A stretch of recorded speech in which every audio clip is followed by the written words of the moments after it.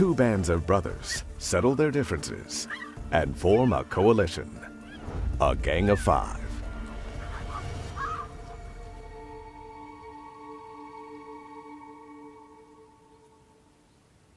They size up their first major assignment, Oryx.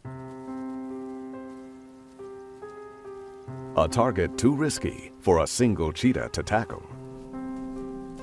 Those saber-like horns aren't just for show. And hunting on an open plain is never easy. But the boys hatch a plan.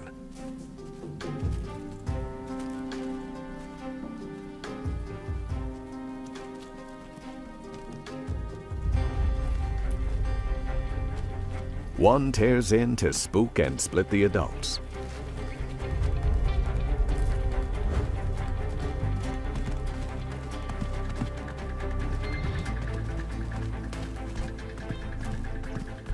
While the others surround the calf.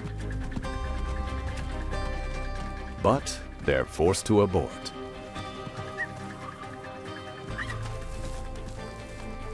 No meal is worth losing life and limb over.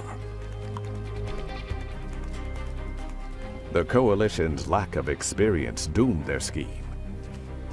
They planned the heist, but forgot the getaway. The rescue party seems to surprise them. They'll have to work on their hunting strategy if they expect to succeed.